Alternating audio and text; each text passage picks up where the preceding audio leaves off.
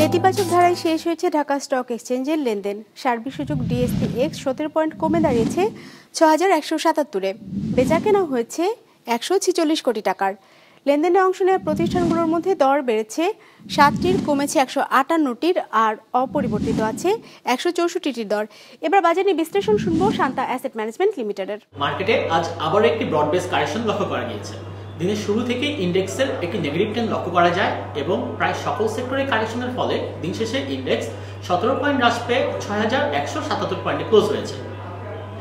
Large সেক্টরের মাঝে আজ শুধুমাত্র ব্যাংকিং সেক্টরে কিছুটা ঊর্ধ্বগতি আমরা লক্ষ্য করতে পেরেছি। এছাড়া বাকি সকল সেক্টরেই একটি কারেকশন আমরা লক্ষ্য করতে পেরেছি। গেইনারের শীর্ষে থাকা কোম্পানিগুলোর মাঝে আজ মূলত ব্যাংকিং এবং ইন্স্যুরেন্স সেক্টরের স্টকগুলির প্রাধান্য লক্ষ্য করা গিয়েছে। অপরদিকে লুজারের শীর্ষে থাকা কোম্পানিগুলোর মাঝে আজ মূলত ফার্মা এবং আইটি সেক্টরের স্টকগুলির প্রাধান্য লক্ষ্য করা গিয়েছে। ইন্ডেক্স হ্রাসের পাশাপাশি বাজারের লেনদেন গতদিনের তুলনায় প্রায় আঠারো শতাংশ হ্রাস পেয়েছে। বাজারের লেনদেন দাঁড়িয়েছে মাত্র একশো ছেচল্লিশ কোটি টাকায়। তাছাড়া টার্নওভারের শীর্ষে থাকা কোম্পানিগুলোর মাঝে আজ মূলত ফার্মা, আইটি এবং ইন্স্যুরেন্স সেক্টরের স্টকগুলির প্রাধান্য লক্ষ্য করা গিয়েছে।